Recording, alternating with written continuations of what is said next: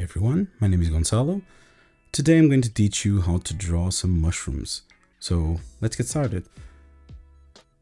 Once we start to draw the mushrooms, we want to start with some simple shapes with um, the caps. These are going to be really simple, so we're just going to go with a little bit of a round shape right here. Mm, there we go and we don't just want to draw one. We're going to go for like a little cluster. So let's do two more. Now we're drawing our mushrooms um, with uh, an upper view. So we want to draw the bottom of them. For that we're going to draw some circles like this in beneath every single one of them.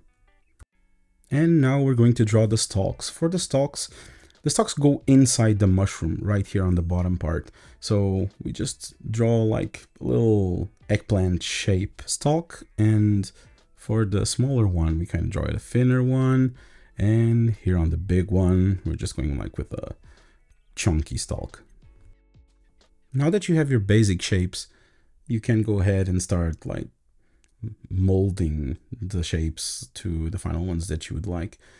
Uh, I do like the base that I did, but I kind of wanted to make them like a little bit more irregular and I can make the perspective a little bit better and make them a little bit less less round. You can really do whatever you want at this stage. You just need to kind of find the shape you're happy with and not just stay with the geometrical shape you made in the first sketch. Uh, I'm going to start detailing the bottom of the mushroom the mushroom kind of uh, tapers out, so we kind of want to show that. Just adding a little bit of a curve at the end of the circle that you did for the bottom will give the impression that the the, the bottom is, is tapered and it just tapers in. You can look at what I'm doing here, drawing a little bit of this this bottom lip and then it kind of curves upward and then we start adding a little bit of details to kind of help uh, with that bevel right there. Now we're going to do the inside of the mushroom. The mushroom has a little, some, like these gills inside of it. Uh, if you ever eaten a mushroom, you probably dealt with them. uh, some people take them out, some people don't. But here we're drawing them, so we're keeping them in. On these particular mushrooms we're drawing, um, the gills kind of uh, are concave in. So we kind of have to draw our gills a little bit more curved to kind of give the feel that they are going inside the mushroom. Now mushrooms usually also have like a little skirt at the end of the stalk or at the beginning, depends when you start. Um, these, for this ones, you just want to draw like a little bit of a curved little shape at the end of this. And these are usually very fibery, very hairy. So we're just going to do some lines uh, to, for now to kind of put in place so we can later on do some more detail on that. At this point, I would say I have all the shapes I want, some of the detail. So I'm going to start cleaning up. I just grab my little rubber and going to start cleaning up as much as I can without destroying the drawing that I have below. So we don't want any extra lines. We just want to have like a single um, cleanish line that we can later on come over and start doing detail work on it. I'm going to speed this up a little bit because this part's a little bit boring and it's just erasing. So there you go. When you are erasing at this stage, don't, don't really worry too much about getting a lot of the drawing erased, it's it's not really a problem. As long as you can see what you did below and there's like a little shadow of what you've drawn, you can go over it and just make it really spiffy and clean afterwards. And now we're starting with our clean lines. We already have a shadow of what we drawn before below and it's clean so we can just start to kind of draw our final shape and draw our final detail on this piece. It's still a bit ways off, but uh, yeah, we can start working on it.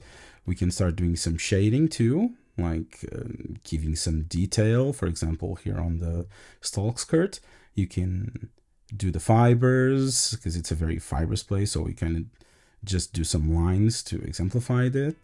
Here on the bevel, when it's beveled, you kind of want to put some details on to kind of show that that part curves in. You can add a shadow, add some cross hatching. It's really up to you. There's no no one technique that you should follow that's going to give you a good result. You just do what feels right for you at the moment. One thing I usually do, and this is my style, I usually make the line thicker on one side, the side that is shaded.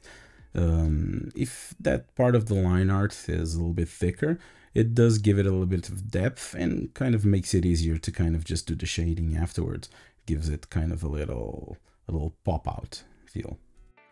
Now you're going to see me going a bit back and forward. I kind of go over the lines that I already had um, and try to refine them and kind of give them a little bit more of texture and detail. For example, on the gills on this big one over here, I'm kind of going over it and defining those gills a little bit more, adding some shading. And this is going to be the next few minutes of drawing. Just adding more shading, fixing some line art, and just making it so it looks as good as you can. On this part, you kind of want to kind of go with your gut, go with your feelings. You kind of start adding the shadow on the, the side that you feel comfortable with. And just just just keep on shading until until you feel comfortable with it. Now after that i'm gonna start working on some textures. Mm, i mean the mushrooms are not all all, all clean on the upside so just gonna draw some some nice textures, some some circles to kind of give it a a little bit of a dirty look, and we're gonna draw some some smaller ones, some bigger ones. Uh, just kind of give it a little bit more of a of a feel. On these, you kind of want to make them oval and kind of leaning on the side that you're on, so it will give it a little bit more depth. Uh, and then I'm going to start with some light shading. I'm going to do the shading. Uh, the light is coming from the right side, so I'm going to do the shading on the left side. We kind of start with some round motions with our um, with our pencil, kind of just to get those uh, those shadows really really smooth and really really gradienty uh, from the side that we need them to be. While I'm working on the shading, I also do some texture work there. So when I'm drawing the shadow, for example, here on the on the bottom right side, I'm also adding a little bit of texture that kind of goes in and it curves and, and it gives it like a rough rough texture to the mushroom mainly on the bottom part and on the corners where the detail kind of clusters you kind of want to use your shading to bring out uh, all of the little imperfections on the subject you're drawing, in this case the mushrooms.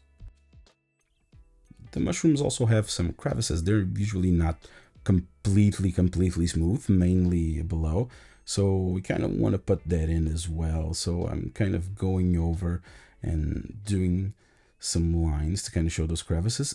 You kind of also want to do this because it it, when you do these, it kind of helps that little form take shape. So if you don't want to do it all with shading, you can do it also with detail. Um, shading is not everything when it comes to form. Uh, a lot of the details do really help, so feel free to add those as much as you like. There's really no way to go wrong with these, so just keep at it and we're kind of getting to the end of the drawing so I'm just gonna start using some more uh, some more aggressive lines some more dark lines to kind of define the shapes you can see me using them sparingly uh, just kind of going over and seeing where it's missing detail uh, like here I think it should it needed a little bit more of a few hairs to really give the impression that that's like a, a texture like a a hairy skirt and the same here. Um, and after this, I'm probably gonna do a little bit of a some ground, some rocks, some some some grass. So yeah, I'm gonna do that right now. This isn't really a grass or ground tutorial, but eh, there you go. I'm gonna do some of these. I don't want them kind of just floating on the page. Uh, to draw when you're drawing like really close, I just tend to kind of do some spiky, spiky stuff uh, popping from the ground because it's really close and you can actually see how the grass is. Just you know, spiky leaves right on the ground. You just add, I'm just adding here some some rocks. Then I'm just drawing like uh, with very geometrical shapes and not really giving it much detail. The, the hero of this piece is the mushroom, not the floor. So yeah, there you go. Just adding some shading so they're not just floating on the background. Here we go. And uh, yeah, I always go over everything one last time. It's it's really hard to know when to stop. But uh, yeah, sometimes you just know when it's done. And I do believe we are done. Look at that. You can use this tutorial to draw any kind of uh, mushroom. So yeah, do go ahead and draw what you would like. I would love to see what you do. Thanks for watching. If you enjoyed this video, please like, subscribe to our channel. Also, feel free to comment below what you would like to see us draw next. For more how to draw videos and free comic books, go to biowars.com. Have a great day!